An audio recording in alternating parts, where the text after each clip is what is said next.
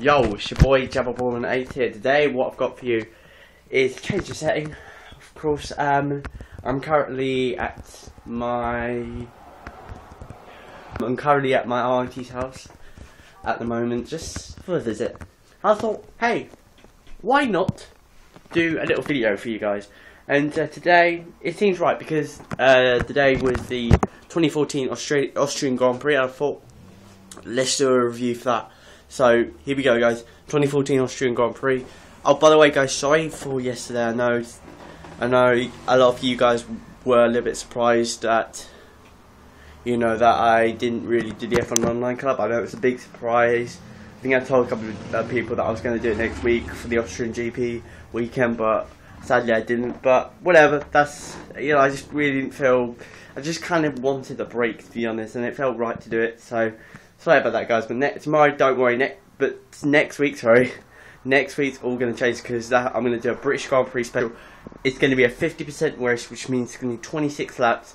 So yeah, I hope you guys will enjoy that. But without further ado, let's do this video.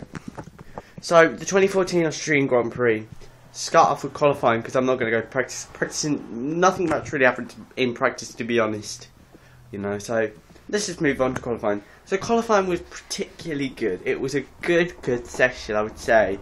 Q1 started quite reasonably well, you would say.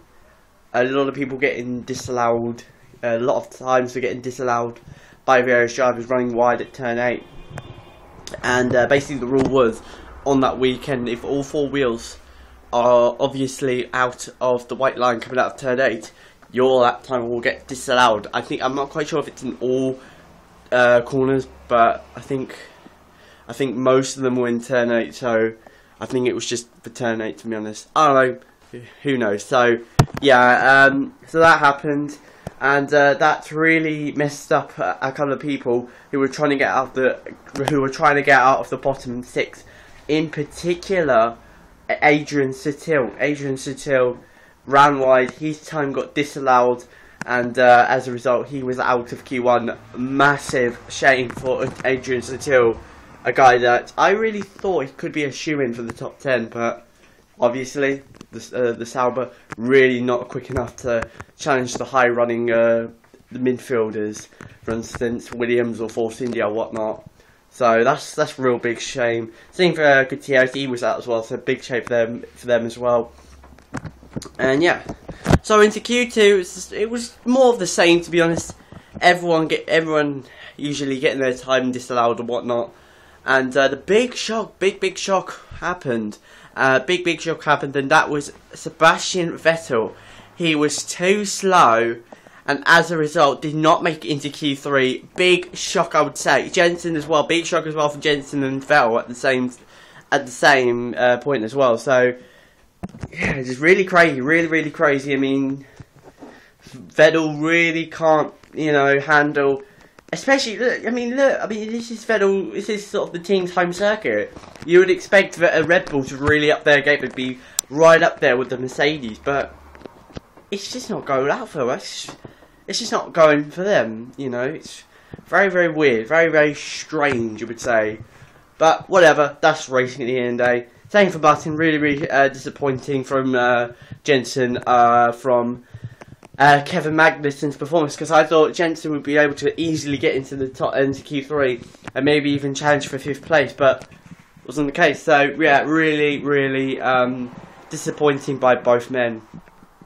And then into Q3, that's when the spice really kicked up, and that was the and that was the two Mercedes going for it, hammer and tongs to see who was the fastest but one of them couldn't really maximise it as Hamilton ran wide and uh, got his time disallowed. His time was disallowed after I think he was like four for one time, and then he, and then time got disallowed. And then at the end of the session, he spun whilst he was on his flying lap while he was going for pole position. Spun.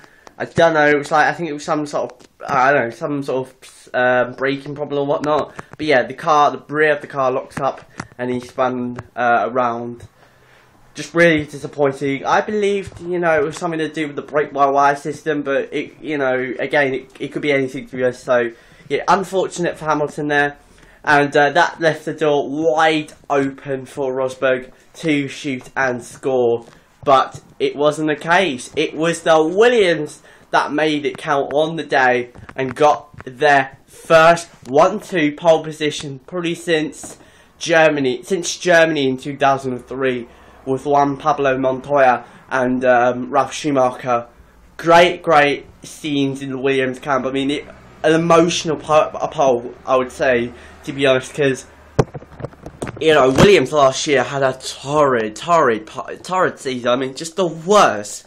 Like, forget 2011. 2013 is in a, a new age of horribleness. I mean, just Jesus Christ. They were just asking to be out of Formula One. They were just asking for it. But they stayed in there, and as a result, they've got their pole position. What a pole for them. What a heart.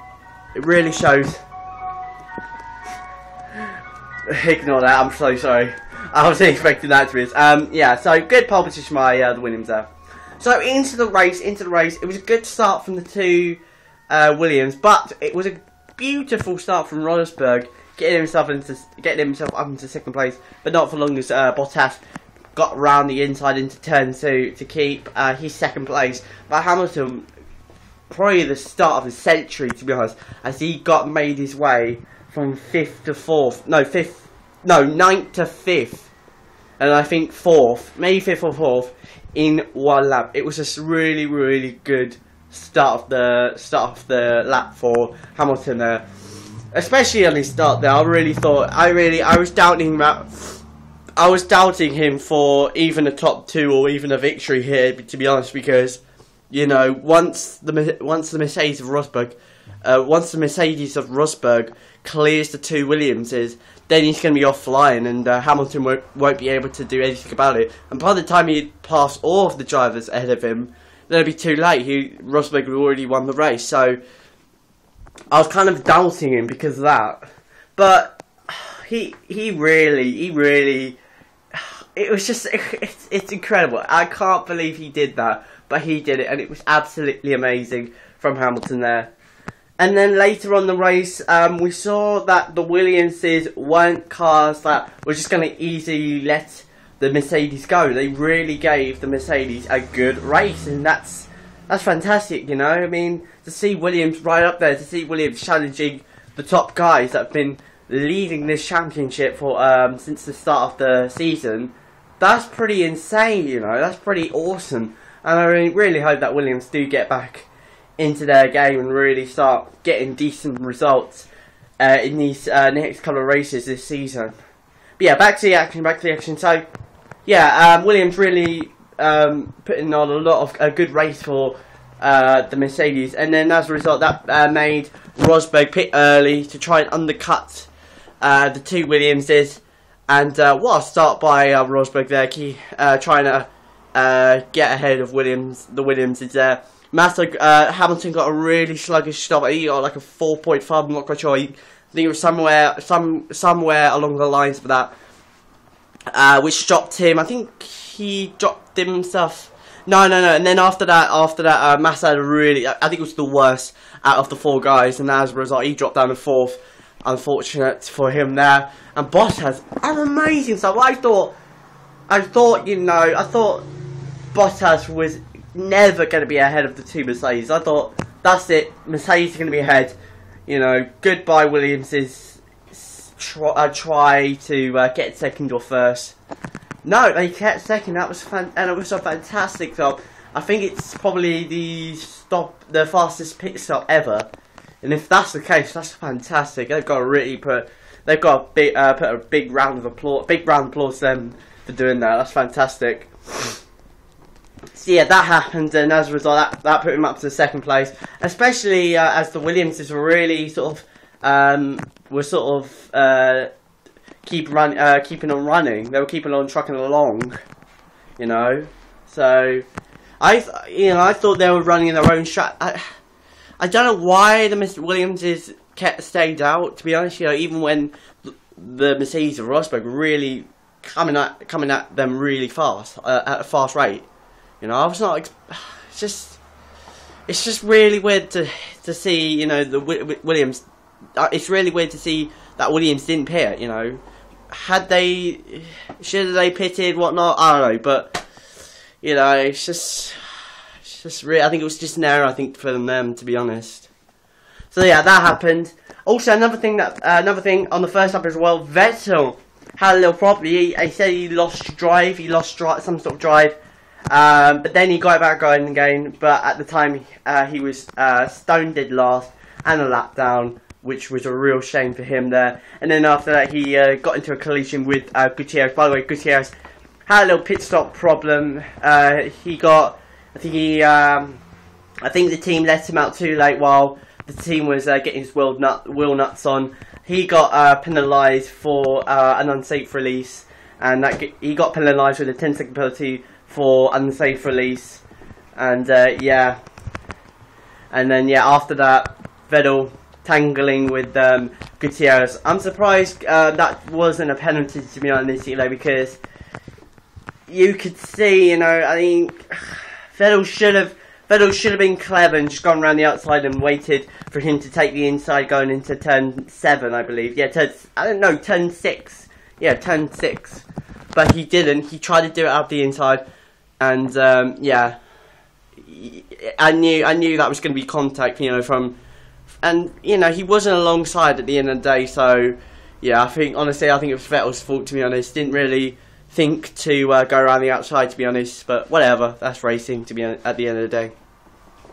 So yeah, that happened, um, and as a result, and then later on, uh, um, um, Vettel had a problem. He uh, Vettel just retired um, because the team thought that there was no point in racing, to be honest. So they retired him. Unfortunate for Vettel there, third retirement in the season. Not good for the uh, former for the uh, reigning world champion.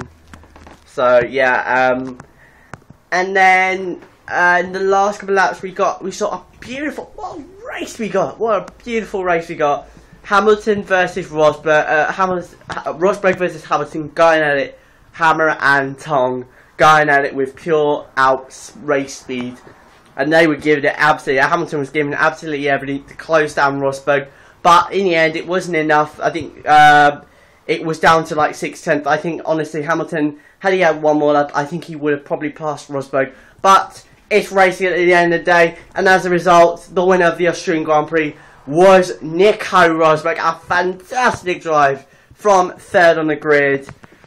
Um, a beautiful, beautiful race. Controlled the lead from Hamilton, and uh, as a result, uh, picked up his fourth, no, third win of the season. Sorry, third win of the season. Beautiful, beautiful win for him there, and as a result, increases him, his lead in the championship to Hamilton. So, yeah, folks, that's it. I hope you guys enjoyed this. I hope you guys in. sorry, I hope you guys enjoyed this video. I'm sorry this video is a bit long. Um, it might be 20 minutes, might be 10, I don't know. But yeah, folks, thank you very much, very, very much for watching. It's your boy, Jabba Renate. I'm out. Peace.